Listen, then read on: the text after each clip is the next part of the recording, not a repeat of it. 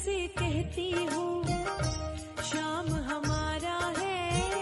महक से कहती हूँ शाम हमारा है। मुझे पग पग पे वो देता सहारा है। मुझे पग पग पे वो देता सहारा है। ओम श्री श्याम देवाय नमः। कैसी हैं आप सब लोग? आई होप कि आप सब बहुत अच्छे होंगे। मैं भी बहुत अच्छी हूँ और आज का वीडियो जैसा कि आपने थंबनेल से देख ही लिया होगा, आज का वीडियो है श्याम बाबा के दर्शन का। मैं गई थी कुछ दिन पहले श्याम बाबा के दर्शन के लिए तो सोचा छोटा सा वीडियो शूट कर लेती हूँ ताकि मेरे साथ साथ आप भी दर्शन कर सकें। हम लोग घर से नाइट में निकले थे और अर्ली मॉर्निंग वहाँ पहुँच गए थे तो हमने मंदिर से आधे घंटे की दूरी पर ही एक होटल ले लिया था। बस वहाँ पे फ्रेशन अप हुए, थोड़ा सा रेस्ट किया, गर्मी बहुत ज़्यादा थी तो हमने शाम को सोचा कि शाम को निकलेंगे दर्शन करने के लिए। बस फिर हम लोग चार बजे के आसपास दर्शन करने के लिए निकले।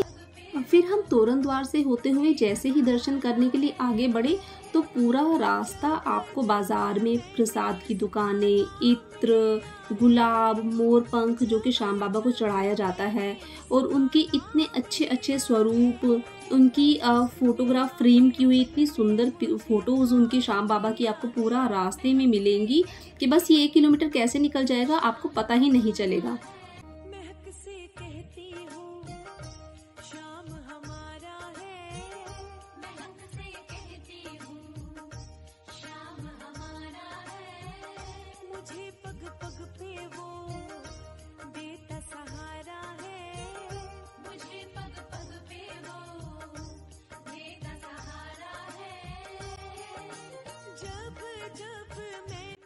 इस शॉप पर श्याम बाबा का ये वाला जो फ्रेम था, इस पर मेरा इतना मन आ गया था, ये इतना खूबसूरत लग रहा था, इतना प्यारा लग रहा था कि मेरा मन था कि दर्शन करके वापस आएँगे तो ये फ्रेम मैं ज़रूर घर लेके जाऊँगी। इनके पास सच में श्याम बाबा की ना बहुत अच्छी अच्छी फ्रेम की हुई पिक्चर्स का कलेक्शन था।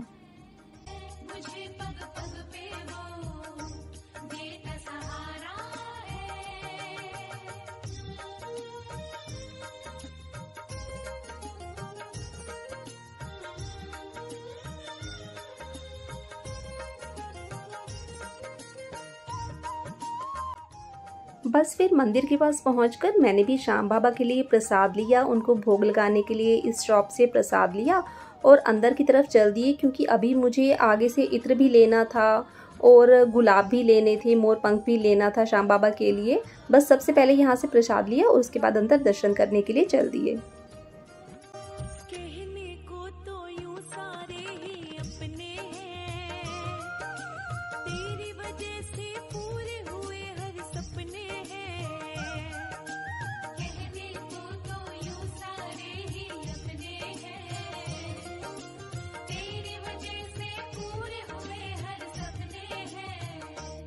कुछ है पास मेरे वो सब तो तुम्हारा है। मुझे पग पग पे वो देता सहारा है। मंदिर में भीड़ तो बहुत ज़्यादा थी बहुत ज़्यादा लोग आए हुए थे दर्शन करने के लिए पर अरेंजमेंट बहुत अच्छा किया हुआ था बहुत सारी लाइंस हैं। दर्शन करने में बिल्कुल भी परेशानी नहीं होती। मैं तो काफ़ी सालों बाद गई हूँ पहले से बहुत चेंज हो चुका है। दर्शन करने में बिल्कुल भी दिक्कत नहीं हुई। भीड़ बहुत ज़्यादा होने के बावजूद भी इतनी सारी लाइन्स थी कि आप किसी भी लाइन में लगे, दर्शन आपको बहुत अच्छे से ही होंगे।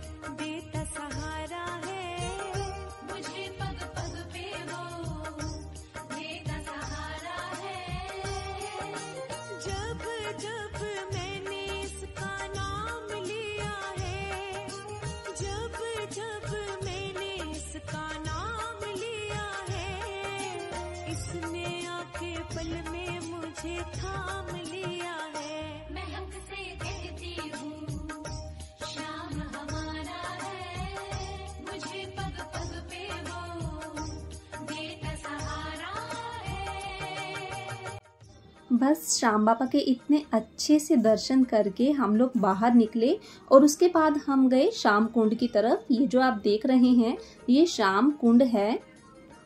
मान्यता ये है कि श्याम कुंड में नहाने से इंसान की सभी इच्छाओं की पूर्ति होती है और उसे गोलोक धाम की प्राप्ति होती है।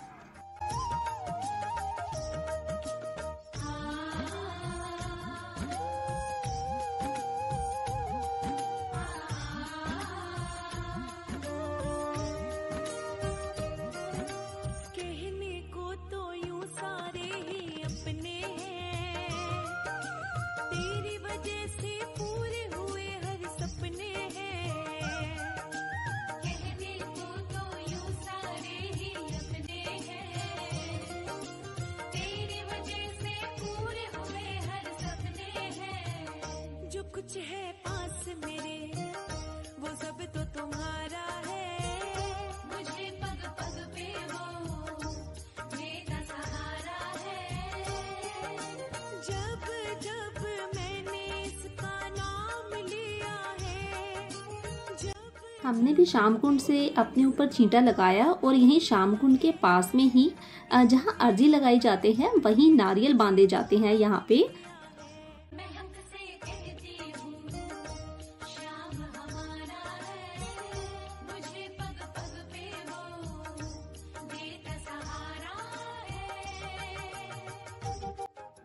बस शाम कुंड से निकलते ही यहीं पास में ही फिर श्याम बाबा का जल मिलता है जो कि श्याम बाबा के ऊपर चढ़ता है। ये वही जल है जो येलो कलर की बॉटल्स में आपको दिखाई दे रहा है। ये वो जल है जो शाम बाबा के ऊपर चढ़ाया जाता है और जो व्हाइट कलर की बॉटल्स में आपको दिखाई दे रहा है, ये डायरेक्ट शाम कुंड से आया हुआ जल है।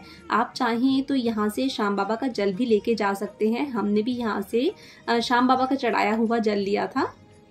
बस फिर उसके बाद मैंने इस शॉप से श्याम बाबा की एक बहुत ही सुंदर फ्रेम की हुई पिक्चर ली जिन्हें मैं अपने घर लेके आई।